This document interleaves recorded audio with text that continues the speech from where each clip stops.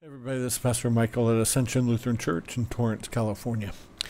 And it's time for another midweek boost.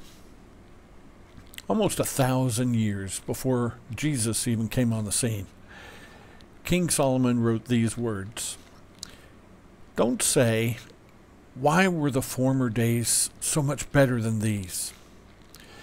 It's not from wisdom that you ask this. Wow. I mean, that sounds like something you or I might have said this past week. Watching the news, uh, just seeing the things that are happening in the world and looking fondly back on days when we were younger, saying, the world was so much better then. The truth of the matter is, no. No, it's always kind of been in this mess ever since the fall tribulation happens.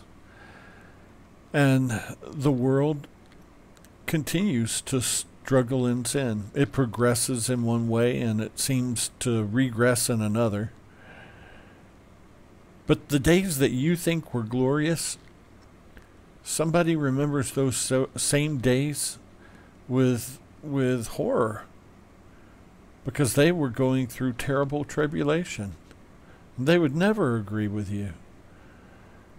Days that I think were fantastic, other people don't, and vice versa. You know, and that was going on a thousand years before Jesus.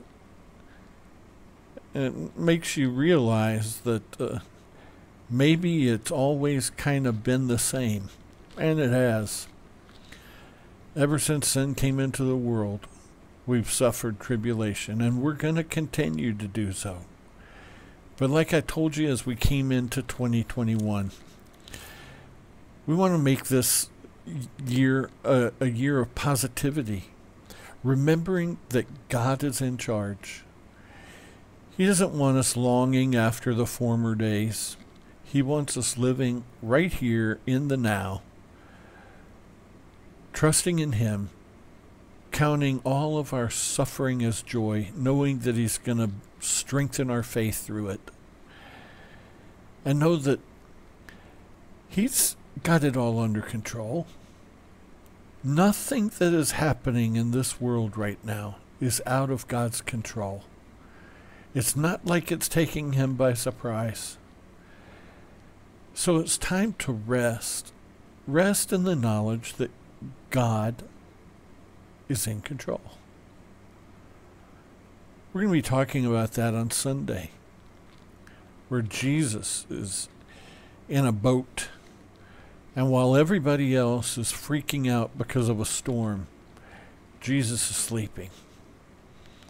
Well, he wants us to be the same way. Trust him. He's in charge. Have a great night.